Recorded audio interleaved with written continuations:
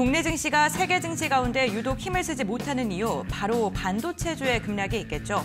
특히 코스피 대장주인 삼성전자는 연일 52주 신저가를 새롭게 쓰고 있는데요. 시장에서는 삼성전자가 조만간 2분기 실적을 발표할 예정이지만 주가의 모멘텀을 삼기엔 부족할 것이라고 우려하고 있습니다. 삼성전자의 앞으로의 방향성 임순재 대표의 시각도 확인해 보겠습니다.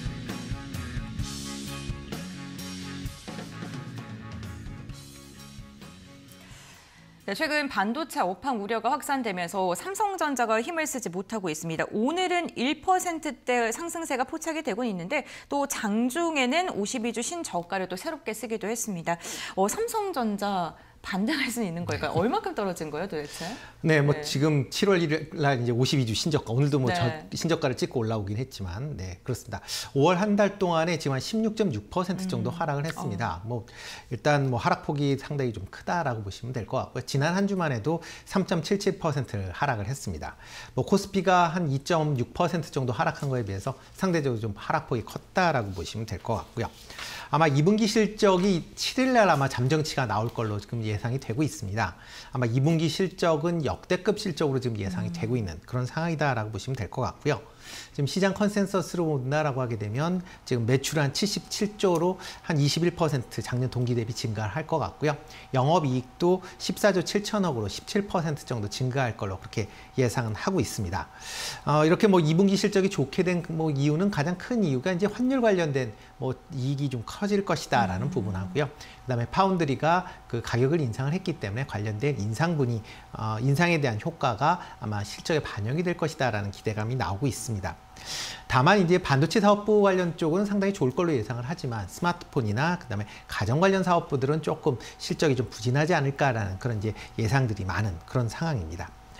뭐 일단 최근 들어 이제 삼성전자가 이제 큰 폭으로 이제 하락한 이유는 가장 큰 게 이제 마이크론 테크놀로지가 이제 그 6월 30일 날 실적을 발표한 그 이후에 조금 더 그러니까 가이던 그러니까 향후 가이던스를 낮추면서 삼성전자도 같이 하락을 한 거 아닌가라는 생각을 해보고 있고요. 네. 마이크론 테크놀로지 같은 경우에 이제 그 이, 아, 3분기 이제 실적이 지난 6월 30일 날 발표를 했는데요. 3분기가 3월부터 5월까지입니다. 그렇기 때문에 뭐 국내 그 아, 일반적인 분기하고는 좀 약간 다르다라고 음. 보시면 될 것 같고요.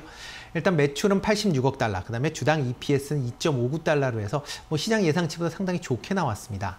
그렇지만 어, 4분기 가이던스가 시장치나 뭐 전분기 대비 큰 폭으로 하락할 것이다 라고 예, 전망이 나왔는데요. 매출은 72억 달러, 그 다음에 주당 EPS도 1.63달러로 예상이 나왔습니다.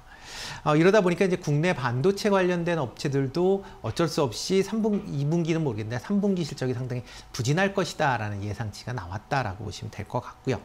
특히 이제 최근 들어 이제 메모리 반도체 그 세계 점유율 자체가 세계 회사가 과점이 돼 있는 그런 상황입니다. 음. 그렇기 때문에 서로 그 점유율에 대한 경쟁을 안 하고 있다 보니까 수익 위주로 이제 어, 가격이 결정이 되는데요. 그럼에도 불구하고 마이크론의 향후 실적이 나빠졌다라는 거는 SK 하이닉스나 삼성전자의 디램 사업부에 대한 실적이 향후에 나빠질 수 있다라는 거를 어떻게 보면 선, 뭐 나타낸 거 아닌가라는 생각을 해보고 있습니다. 네, 그렇군요. 어, 국내 삼성전자와 주가가 좀 가장 큰 영향을 미치는 마이크론이 시장 기대치를 못 미치는 전망을 내놓으면서 삼성전자 역시나 좀 출렁이고 있는 건데 어, 쨌든 2분기까지 역대급 최대 실적을 발표하면 4개 분기 연속으로 역대급 실적을 발표하는 겁니다만 주가가 6만 그 6만 원 그 아래대에서 계속 움직임을 이어갑니다. 어쨌든 하반기에 대한 업황 우려가 이렇게 실적 어, 실적 대비 주가에 대한 뭐 약세가 이어지고 있는 건데 하반기에 정말 그렇게 어둡나요? 일단은 뭐 네. 매 반도체 관련된 수요는 좀 줄지 않을까라는 아, 생각을 네. 해보고 있습니다. 가장 큰 게 이제 경기 둔화 우려감이 음. 이제 본격화되면서 네. 관련된 이제 수요가 좀 줄 것이다라고 얘기를 하고 있고요. 대표적으로 이제 클라우드 관련돼서 이제 데이터 센터 클라우드 관련된 데이터 센터들의 그 지금 서버 증설이 일단 뒤로 지금 연기되고 있는 그런 추세다라고 보시면 될 것 같고요. 뭐 또 경기 둔화로 인해서 PC나 모바일에 대한 수요가 감소할 걸로 예상을 하고 있습니다. 특히 이제 모바일 같은 경우에는 지금 스마트폰 판매량이 5월 달에 9,600만 대를 기록을 했습니다. 이게 동년 작년 동기 대비 10% 하락을 한 거고요. 최근 10년 이래에 10년 내에 1억 대를 못 판 달이 두 달 있는데 그 중에 한 달일 만큼 상당히 스마트폰 판매가 저조하다라고 보시면 되겠습니다. 뭐 올해 전체 스마트폰 판매 대수는 아마 작년 대비 7% 정도 지금 감소할 것이다라고 예상을 하고 있는 그런 상황이기 때문에 아마 이런 모바일 관련된 디램의 수요도 더 줄어들 수 있다라고 보여지고요. 뭐 이에 따라서 반도체 가격이 하락을 하고 있습니다. 뭐 지금 하반기에 디램 같은 경우는 3에서 8%, 그다음에 낸드 플래시 같은 경우도 두 자릿수 이상의 지금 어, 가격 하락률을 예상을 하고 있는 그런 상황이고요. 보통 이제 하반기에 기대를 했었던 게 이제 DDR5램에 대한 이제 출시가 좀 활발히 이루어질 거 아니냐라는 기대감이 좀 있었습니다. 그렇지만 인텔이 인텔의 신형 CPU가 계속 지금 반도체 그 공급난으로 인해서 출시가 원활하게 지금 진행이 안 되고 있는 그런 상황입니다. 그렇기 때문에 DDR5에 대한 부분도 올 하반기 는 크게 기대받기 어렵다라는 게 지금 전반적인 시장 반응 아닌가라는 생각이 들고 있고요. 네. 그렇기 때문에 뭐 주가 상승을 위해서는 아마 이러한 조금 DD, 그러니까 이 반도체 업황이 좀 더 개선되는 그런 모습들을 좀 보여야 되지 않을까라는 생각을 해보고 있습니다. 네, 업황 개선이 뭐 먼저 선행이 돼야지 주가의 상승이 될 수도 있다라고 말씀을 해주셨는데 어, 대표님 그런데 많은 분들께서 궁금해하실 것 같아요. 삼성전자 지금이 저점이냐? 어, 지금 지금이라도 추가 매수해서 내 평단가를 좀 낮춰야 되냐? 제 주변에 정말 많이 물어보더라고요. 네. 네, 지금이 저점인가요? 일단 저점 근처다라고밖에 말씀을 못 드리겠습니다. 아, 못 드리겠습니다. 네. 네. 아, 이유 중에 하나는 이제 삼성전자와 관련돼서 실적은 상당히 좋다라는 거 뭐 다 알려져 있고요. 그렇기 때문에 실적으로 이제 지금 주가를 판단하기에는 조금 아, 맞지 않는다라고 생각이 되고 있습니다. 뭐 기본적으로 지금 삼성전자에 대한 미래 성장성에 대한 의구심이 시장에서 어떻게 보면 매도를 좀 더 불러일으키고 있는 거 아닌가라는 생각을 하고 있고요. 지금 뭐 미래 성장성이다라고 보통 얘기를 많이 하고 있는 게 파운드리 관련된 사업부 입니다. 파운드리 같은 사업부 같은 경우는 지금 현재 뭐 3나노 GAA 공정에 따라서 상당히 기대감이 큰 그런 상황인 건 맞습니다. 그렇지만 GAA 공정 자체가 지금 삼성전자가 처음 이제 상용화하는 그런 이제 기술이다 보니까 이 기술에 대한 안정성, 그 다음에 수율에 관련된 부분이 과연 쉽게 회복이 될 수 있느냐라는 게 시장에서 관심 사항이다라고 보시면 될 것 같고요.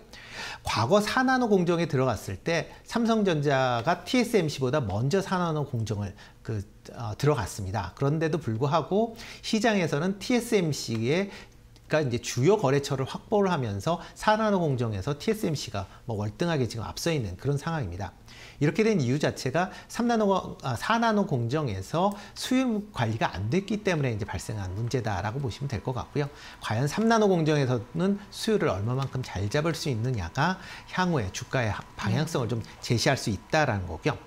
또 하나가 지금 뭐 현 그 삼성전자 같은 경우에 현금을 지금 동원할 수 있는 게 한 200조 정도 된다라고 얘기를 하고 있는데 이러한 이제 풍부한 현금 유, 현금 자산을 지금 그냥 놀리고 있다라는 겁니다. 좀 더 미래 성장을 위해서는 새로운 어, 기업에 대한 M&A를 이 자금을 통해서 해야만 아마 이런 미래 먹거리를 위한 그런 투자가 좀 선행되어야만 주가가 어느 정도 회복이 될지 않을까라는 생각을 해보고 있고요.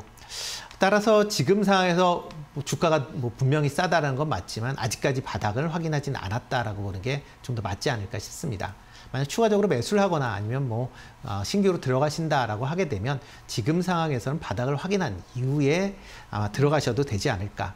만약 그럼 바닥을 확인하는 시점이 어떻게 되느냐라고 보면 이제 첫 번째 생각해 볼 수 있는 게 어, 이제 글로벌 이제 반도체 관련된 회사나 어떤 이제 중요 회사들에 대한 M&A를 하겠다라는 발표를 하거나 아니면 파운드리 관련돼서 대, 3나노 공정의 대규모 거래처를 확보하는 그런 소식이 나온 그 이후에 아마 투자를 하시는 게 좀 더 맞지 않을까라는 생각을 해봅니다.